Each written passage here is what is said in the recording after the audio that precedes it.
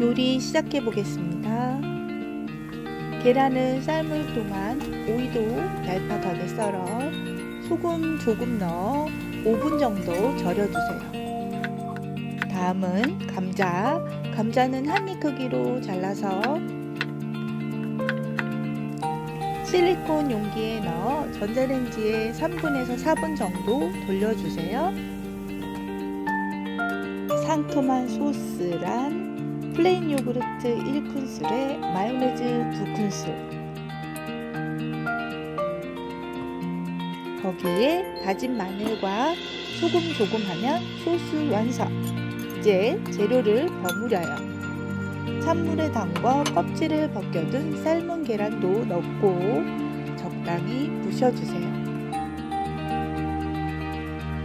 전자레인지에 돌려 조금 식혀둔 감자도 넣고 골고루 버무려 그릇에 담아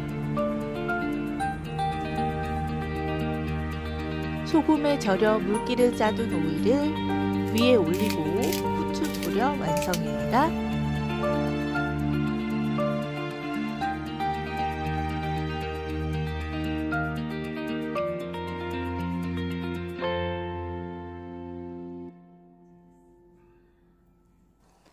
플레인 요거트와 후추가 마요네즈의 느끼함을 잡아 맛있어요.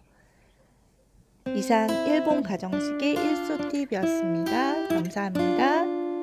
구독과 좋아요는 큰 힘이 됩니다.